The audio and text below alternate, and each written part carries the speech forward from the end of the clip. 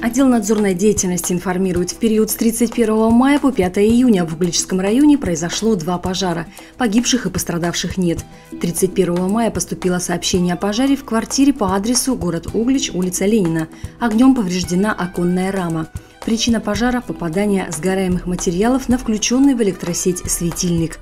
4 июня поступило сообщение о пожаре мусорных контейнеров по адресу город Углич, улица Старостина. Пять контейнеров уничтожены огнем. Причина пожара устанавливается. Отдел надзорной деятельности обращает особое внимание садоводов и собственников земельных участков на соблюдение требований пожарной безопасности в быту. Не сжигайте траву и мусор, особенно в ветреную погоду и вблизи построек.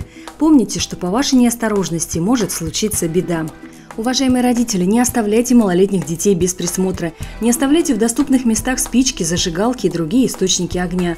В доверительной беседе объясните, к чему приводит шалость с огнем. Приведите примеры, и тогда беда не перешагнет порог вашего дома, не нанесет ущерб, а порой непоправимый урон здоровью ваших детей и вашему благосостоянию.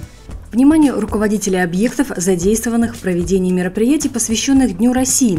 Перед началом мероприятия необходимо произвести осмотр помещений в части соблюдения мер пожарной безопасности, организовать дежурство ответственных лиц на сцене и в зальных помещениях, проверить наличие и исправность первичных средств пожаротушения, обратить внимание на соответствие пути эвакуации требованиям пожарной безопасности, обеспечить работоспособность автоматической пожарной сигнализации и систем оповещения людей о пожаре.